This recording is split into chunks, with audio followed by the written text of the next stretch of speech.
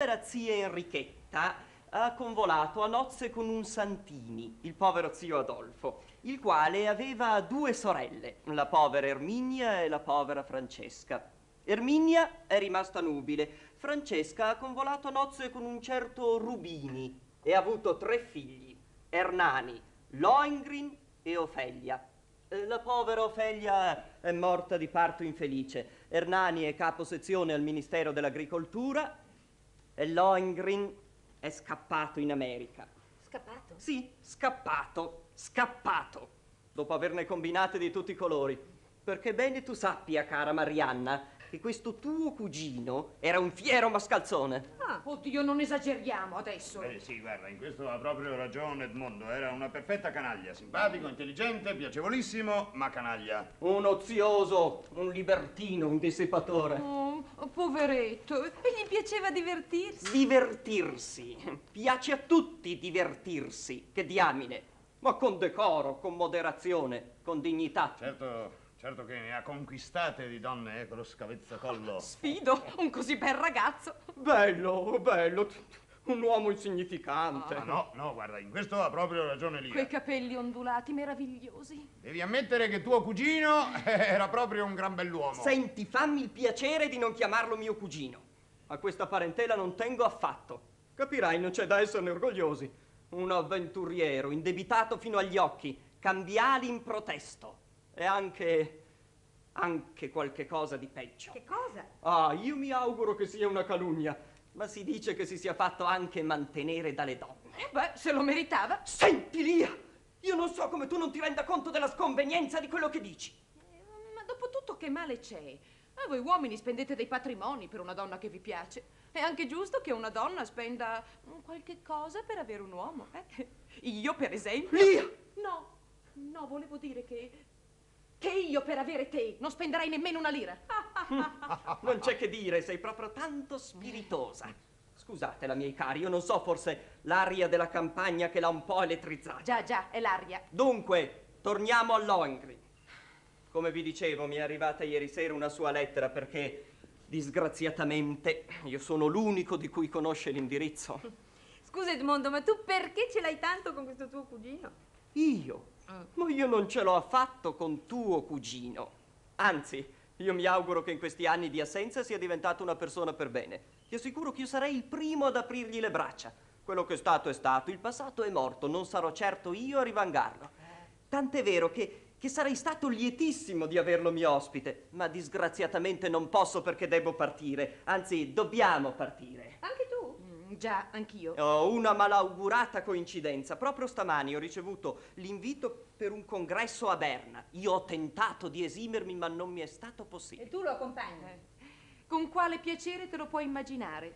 Un congresso di igiene rurale. Ci sarà da impazzire dal divertimento. E perché ci vai? Ah, domandatelo a lui, un capriccio suo. No, no, no. Non è un capriccio. In questi ultimi tempi lì ha sofferto di insonnia e di inappetenza.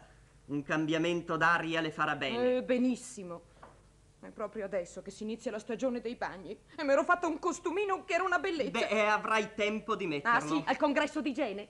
Pensa, Marianna, un paio di pantaloncini bianchi, corti, corti così, una magliettina Lia, richiesta- ti prego, non siamo venuti qui per parlare dei tuoi Eh, pantaloncini. ma sei insopportabile, vuoi parlare sempre tu? No, cara.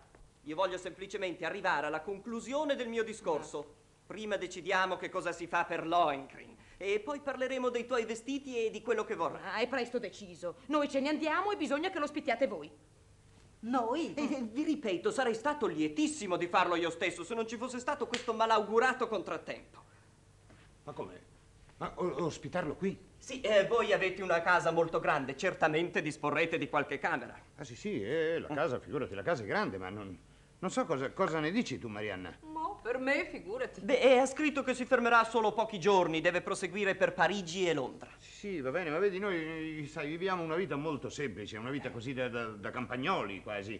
E penso che anche lui si troverebbe a disagio così lontano dalla città. Lontano? Lontano, 10 minuti di automobile, li ho controllati io. E a 200 metri avete la fermata del filobus che in un quarto d'ora vi porta in centro. Sì, sì, va bene, ma non so, bisognerebbe domandare il parere anche di Giulio. E chi è Giulio? È un mio carissimo amico, il mio socio della cartiera. È padrone anche lui di questa casa. No, no, no, padrone no, ma insomma sono tanti anni che vive qui con noi. Non so cosa, cosa ne dici tu, Marianna? Ma io per me, sai, figurati, non dico niente. Sai, bisognerebbe preparargli una camera. Eh già, è questo, come si fa? Eh, Beh, e avete tutto il secondo piano vuoto. Ah sì, camere, figurati, camere ce ne sono tante.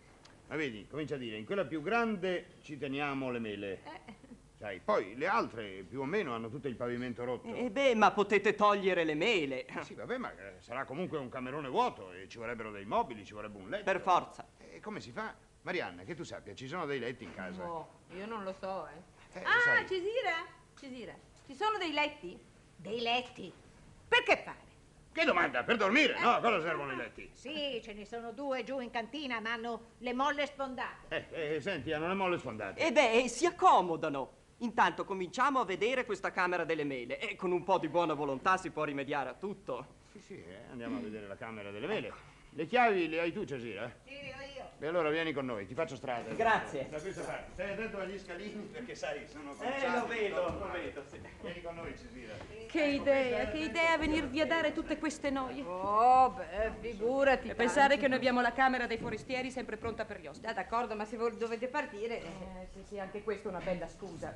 Io mi domando se si può essere più stupidi di così. Ma scusa, se tuo marito deve andare a Berna per il congresso... Ebbene vada. E che bisogno ha di me? Ha paura a viaggiare solo? E poi che idea d'andare a Berna? Non si poteva andare a Sanremo, a Rapallo. Eh, va bene, ma se a Berna c'è il congresso... No, eh? no, che congresso. Ma ci credi tu al congresso? Perché non c'è il congresso? Ma sì, sì, ci sarà, non lo so. In Svizzera c'è sempre qualche congresso. Ma figurati se lui si sarebbe scomodato per andarci. Scusa, Lia, ma allora io non capisco. Allora perché questa partenza improvvisa? Perché? Vuoi sapere perché? Scappiamo. Scappate? Sì, sì, scappiamo perché Edmondo ha paura. E di chi? Di Lohengrin. Lui arriva e noi scappiamo e finché lui starà qui, noi staremo a Berna ad Ma annoiarci. perché? Che cosa c'è stato fra Edmundo e Lohengrin? Ah, ma, ma fra loro non c'è stato niente. No, è, è con me che c'è stato qualcosa. Con te? Eh sì, e già tu non sai niente, sai, è una storia lontana.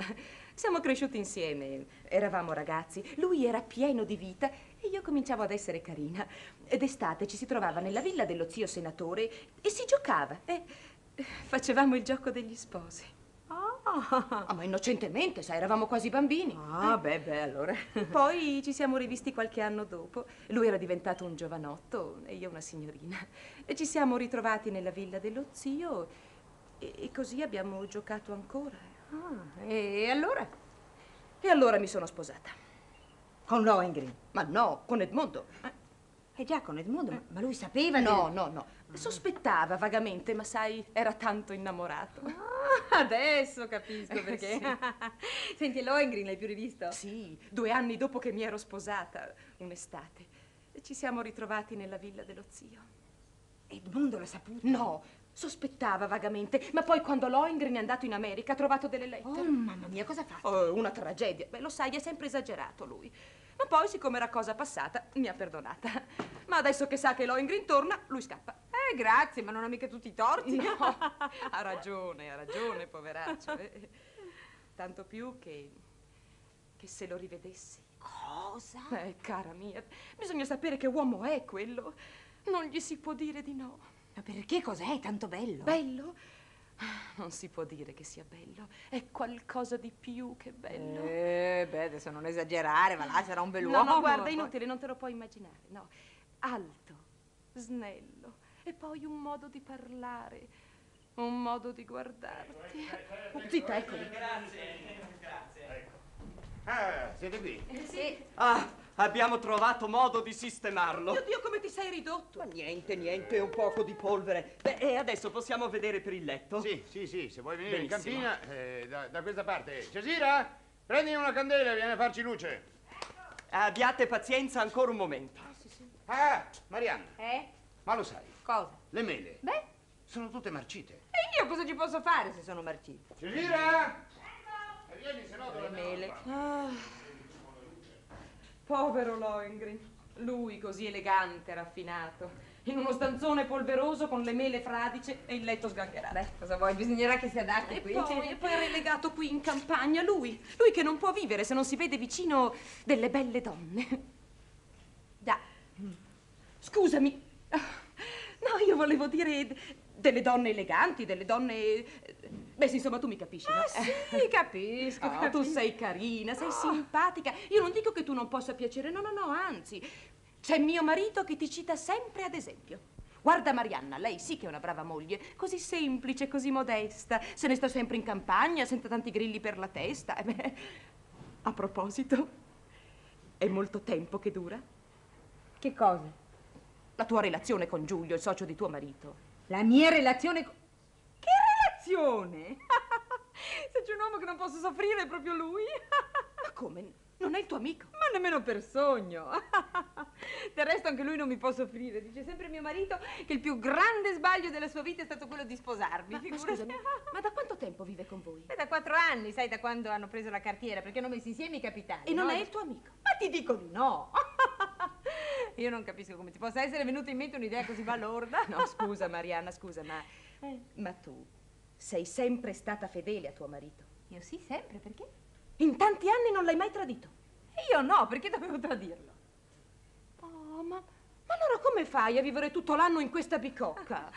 Ma io capisco la poesia della campagna per un giorno, due ore. Sì, insomma, una gita. Ma viverci che noia. Cosa vuoi, oramai ci siamo abituati. Mm. Sai, da principio andavamo spesso in città, ma poi abbiamo venduto la macchina. E ti rassegni a vivere qui tutto Ma l'anno. non è che io mi rassegno, io ci sto benone. Ma non mi va di muovermi. Poi cosa andrei a fare in città? Non conosco nessuno, non ho vestiti. Ma fateli i vestiti, santo Dio! Oh. Muoviti, vivi! Ma come fai a fossilizzarti qui fra, fra le vacche, le pecore e i contadini? Ma non hai desiderio di vedere un po' di gente, di andare al cinema, di ballare? Ah, ma forse tuo marito che non vuole? Ma no, nemmeno per sogno, anche lui me lo dice tante volte, ma cosa vuoi, ormai ho perso l'abitudine. Una sera siamo andati a teatro, non ti dico, guarda, una noia, ci siamo addormentati tutti e due. Ma allora, si può sapere che cosa fai tutto il giorno? Cosa faccio? Mm. Niente. Mi alzo tardi, vado a letto presto. No, no, eh, ti occupi molto della casa. Io, ma che, ma che della casa si occupa Cesire. E tuo marito ha molto da fare? Non ha niente da fare.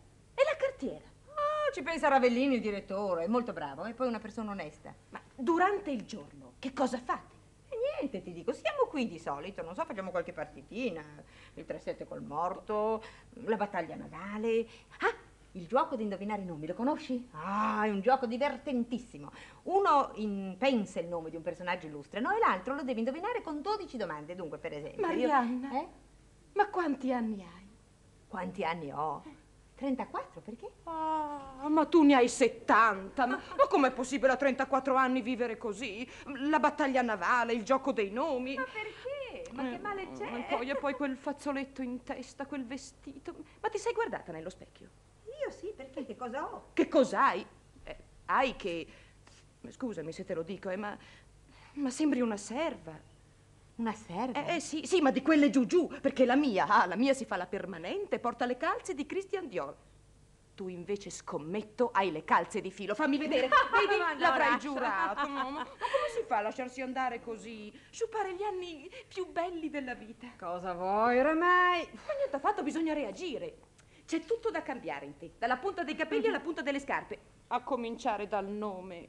Marianna. Un nome impossibile. Ah, Io non potrei chiamarmi così nemmeno per cinque minuti. Ma cosa vuoi che ci faccia? Me l'hanno dato, devo tenermelo, no? E beh, cambialo. Oh, I genitori ci appioppano dei nomi impossibili e noi dovremmo tenerceli per tutta la vita. Ma neanche per sogno ci mancherebbe altro. Lo sai come mi chiamo io? Beh, tu sei fortunata, hai un bel nome. Ma niente, ha fatto io un nome impossibile. Io mi chiamo... Non lo dire a nessuno, No. eh. Io mi chiamo... Ersilia. Ersilia. Eh, eh, guarda che Ersilia vale Marianna. Beh, io ne ho levato la metà ed è rimasto Lia. Un nome carino, simpatico. Già. Eh, potrei fare così anch'io. Potrei lasciare Maria. Pure Anna. Ma che sono due nomi comuni No, tutti no, e aspetta, due. aspetta, tu puoi fare, vediamo un po'. Marianna Ma- Anna Maria! Eh, un bel nome, elegante, romantico. Marianna, la serva. Anna Maria, la padrona. Anna Maria. Sì, sì. Sì, è bello. Che cosa ne dici? Anna Maria. Sì, sì, mi piace. Anna Maria Martelli. Sai, farò venire sì, un paio d'uomini della cartiera. Ma sì, il letto basta farlo accomodare, andrà benissimo. e allora che cosa avete deciso? Tutto sistemato. Avrà una magnifica camera spaziosa, piena di sole. Io credo che qui Lohengrin si troverà benissimo. Io credo invece che non ci resterà nemmeno un'ora. Ebbene, se non vorrà restare, tanto